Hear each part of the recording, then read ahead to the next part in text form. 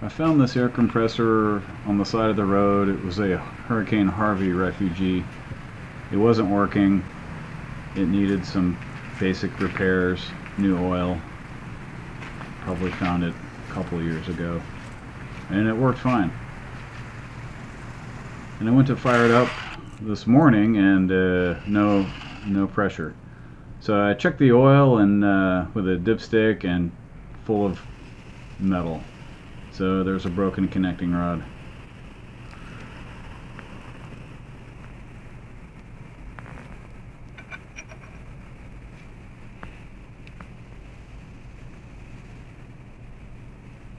The, uh, the bore of the connecting rod there is extremely worn. Here's the cracked end.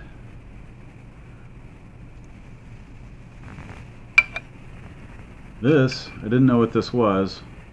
However, momentarily we'll, we'll see where it came from. Here's the bottom of the piston. And you can see towards the back the piston skirt is cracked. Probably mm, got hit by the counterweight there on the crankshaft. Motor still turns fine.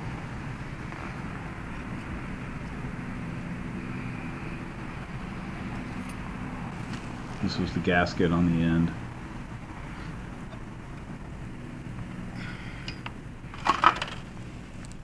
That's the end cap on the, the housing, I guess on the crankcase.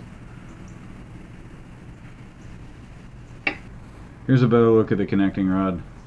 You can see it's extremely worn. I mean, it was maybe an eighth inch out of spec. Probably it wore down enough and then somehow twisted, and that's what caused it to crack. So, sorry to see this thing go. It was a nice freebie while it worked. Easy come, easy go.